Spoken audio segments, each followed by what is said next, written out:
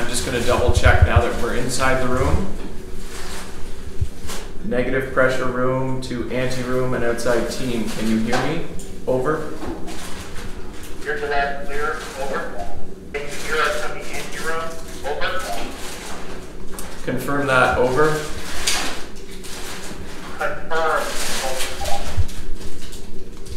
Outside team, can you hear? Confirm, over. I can hear you too. Confirm. Thank you. Over. So our walkies are working. We use a laminated dump kit for inside the room. This allows our primary intubator to organize his or her equipment and have it laid out all in front of them. As it's laminated, it can be easily cleaned and wiped down after the procedure. Our airway nurse also has their own table so that they can lay out whatever they may need. Another small table is located in the room just beside the door.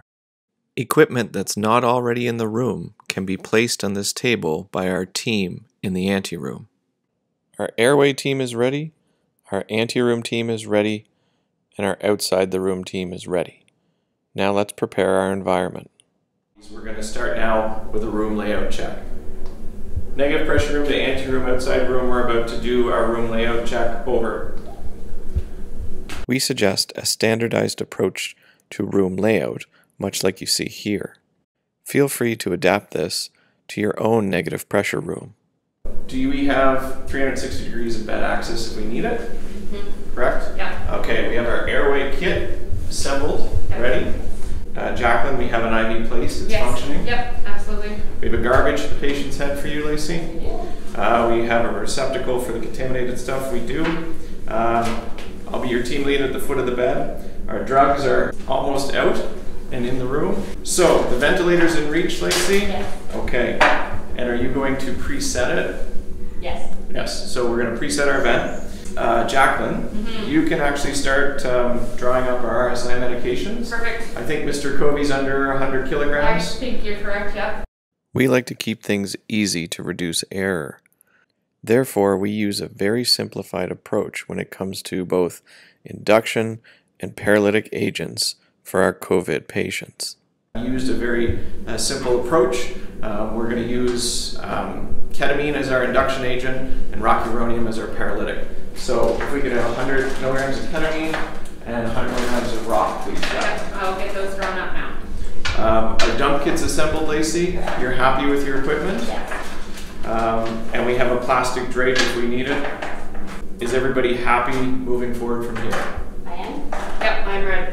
Always remember the importance of checking back with your team members during any resuscitation.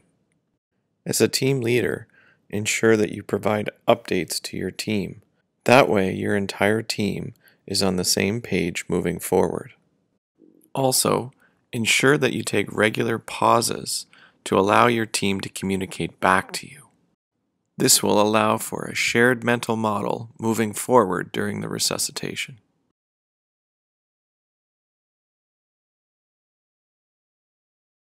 Uh, 360 degrees of bed access. Yes, we do. Airway kit on the patient's right. Yes, Airway nurse confirms IV placement and function. correct. It's working. Garbage at the patient's head. Yes. Team leader at the foot of the bed. Our RSI drugs are drawn up and ready on our table. Uh, our ventilator's in reach of our primary intubator, preset. Okay. Um, and our dump kit is all assembled with all our airway equipment ready to go.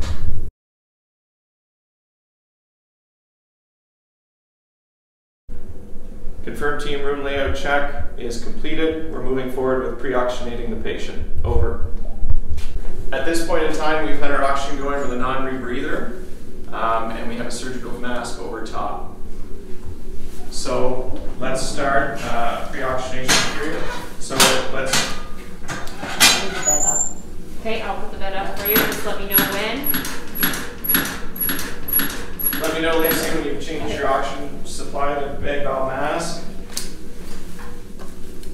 If you need anything, Lacey, just let me know. I'm on. bag valve mask with a filter in place.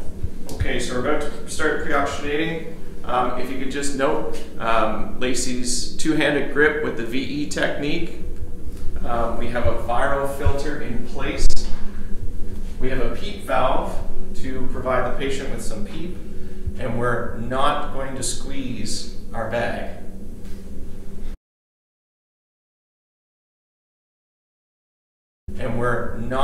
Going to squeeze our bag. Confirm pre-oxygenation beginning. We're going to start a timer for three minutes. Uh, anteroom team, if you could confirm and start timing as per the clock on the wall. So we have our three-minute timer going. We're pre-oxygenating our patient. Now's a good time to run through your RSI checklist if you have one. Most departments already use an RSI checklist prior to intubation.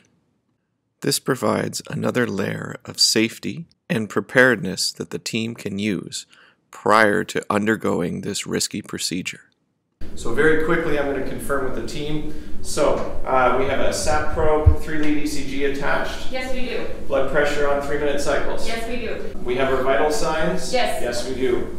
Uh, we have a bag valve mask, two-handed seal, and our PEEP valve's on. What's our PEEP at? Five. Perfect. Uh, our IV is working. Yes, it's working well. Do we have hypotension? Yes or no? No. No. Excellent. We've identified our cricothyroid membrane in case we need to do a surgical airway. Perfect. Ear-distal notch alignment. Yes. Uh, why are we doing RSI? We're doing RSI because this patient has respiratory distress secondary to his uh, COVID 19 infection.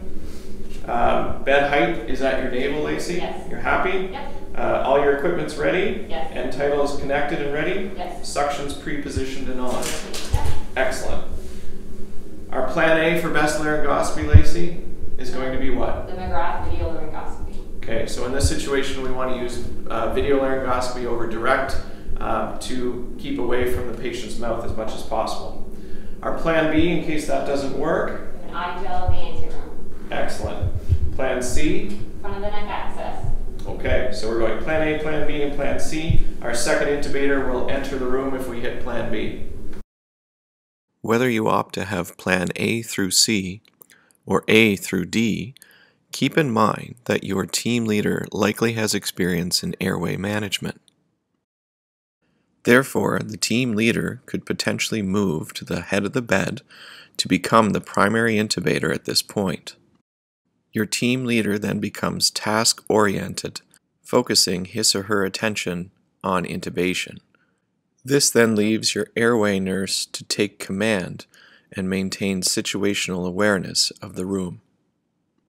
Um, who's giving the drugs? I am. Uh, is there any signs of shock? No. No, everything, his vitals are okay. We estimated the patient's weight under 100 kilos, so we're going to go with ketamine 100 milligrams IV, Yep. rocuronium 100 milligrams Yep. IV. I've them all drawn up and ready to go. Excellent. RSI checklist checks out. RSI checklist confirmed. Um, just waiting for three minutes up of pre-oxygenation before we move to intubation. Confirm. This is the anteroom. Uh, three minutes has elapsed to this point, so you're good for pre-oxygenation. Over. Okay. So at this point in time, we're going to move on to intubation. We pre-oxygenated. Lacey, are you ready? I. Jacqueline, are you ready? Yes, I'm ready. After Jacqueline gives the drugs, um, Jacqueline is then freed up to help Lacey as a, um, an airway assistant, or myself as team lead can do the same. This can be very fluid amongst your team, and you can decide in the moment or outside the room in your pre-brief. We're ready? We are ready. So Jacqueline, you may give the drugs. So let's start 100 milligrams of ketamine. Push, please. All right, you've got the 100 milligrams of ketamine. You're good, Lacey. Okay, pushed and it's in, Followed by 100 of rock. and the rock is in. And a flush, please. Okay, so now we're going to set the timer. Intubation medications in, setting timer for 60 seconds. Confirm. 60 seconds is uh, set. Confirm. So we're going to move on to intubation. Uh, 60 seconds has passed. Our video scope's on, Lacey. Yep. We're going to turn off our wall oxygen to make sure we don't spray any virus from the bag valve mask around the room. Check. Off. Uh, uh, oxygen is off. Bag valve mask to the side. Yep. Okay. And Lacey's going to intubate. Yep. Okay. Stylet. Perfect. The gauze. Gauze is here, and I will make sure you got there.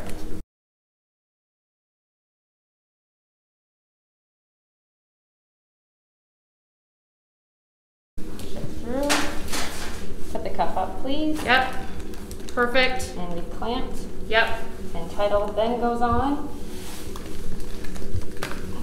Blue fire filter. I've got the And then placement. connected to the vent. And unclamp. In a tracheal tube, push the vent on and watch for end tidal on a monitor.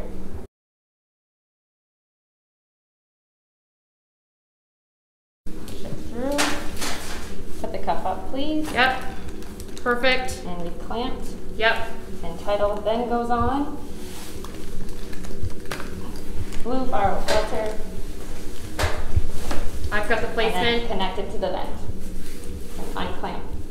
Endotracheal tube, push the vent on and watch for end tidal on a monitor. End tidal seems to be good.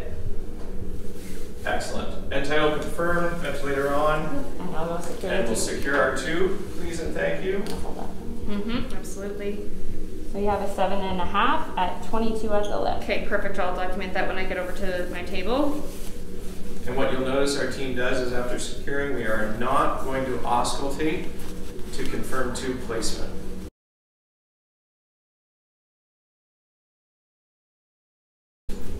Successful intubation of patient team, uh, cross-checking with you moving forward uh, to post-intubation Are you care. good here? Yep.